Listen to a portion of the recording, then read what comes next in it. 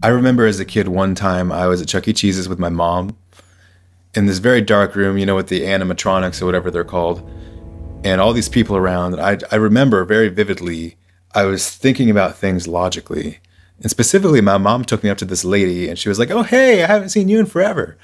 And I was just standing there. I had shoulder hit length hair, I recall. I was three or four years old. Yeah. And this lady just kind of looked at me and I think she was expecting me to say something, but I was just like, Oh, she's tall. She's wearing a purple shirt. Oh, okay.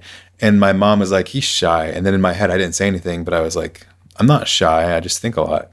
Growing up, my whole life, it was the same way everywhere I went, there were all these people who were just lighthearted and social and bubbly. like, yeah, yeah, we're having fun, lighthearted. We don't think that much. We're just enjoying life. And here I was. I was like, oh, that's interesting. Huh? How does that work?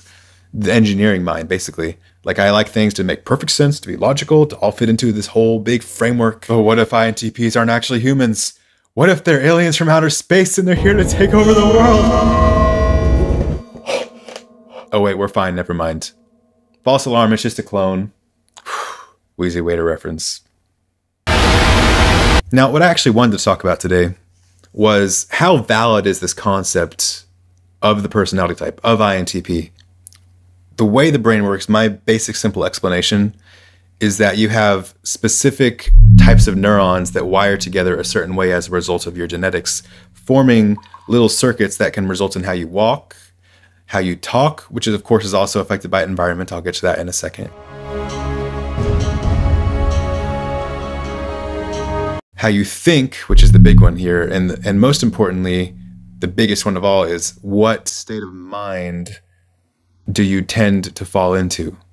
Now, as much as we might like to categorize things, as much as we love to make sense of things, we have to recognize that things are not black and white. If you look at different personality type systems like Hexaco or the PACE system, you'll find that they categorize things in different ways. So, what do personality types actually represent? Well, if you think about it, they really just represent different brain states. So, INTP would be the person who is very logical.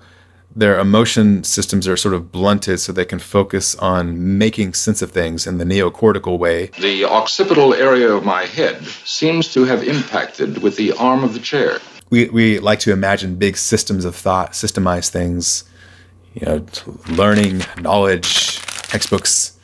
Whereas more social people like ESFJs, for example, they're going to be very lighthearted and bubbly, and they actually use a different part of the brain to socialize than we do.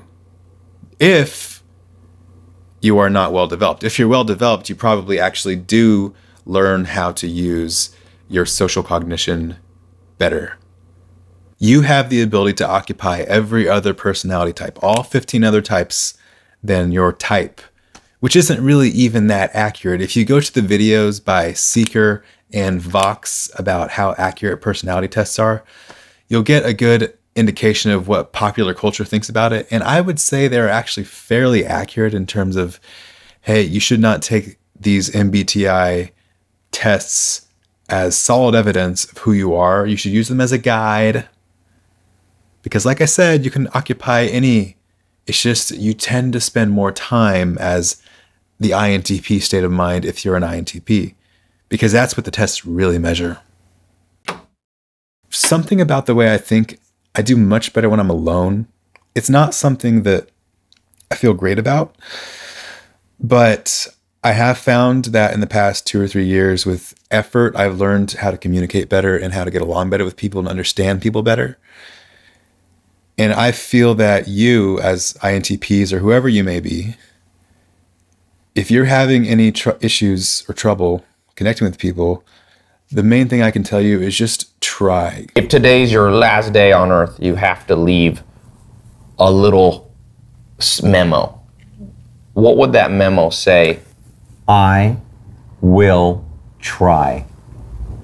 I would have, my life would have been empty of so many things if I didn't think the words, I will try. Welcome to the end of the video. These are the new protein banana cookies I've experimented with. These almond flour and coconut flour. If you're interested in the recipe, let me know. If you dislike the video, give it a dislike. And if you liked it, give it a like. Subscribe if you wish, if you like what I'm doing. My vision for this channel is actually quite different than what you're seeing. So who knows where it's to go.